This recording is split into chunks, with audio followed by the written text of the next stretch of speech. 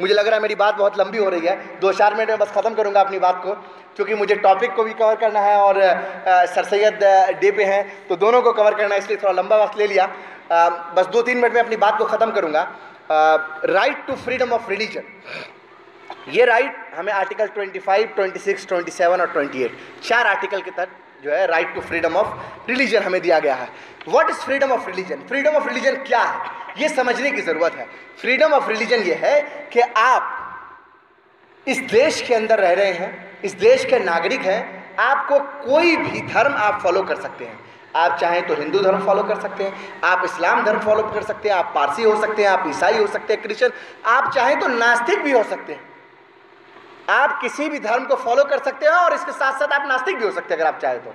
और इसके साथ साथ ये बताया गया कि आप अपने धर्म को प्रोपगेट भी कर सकते हैं।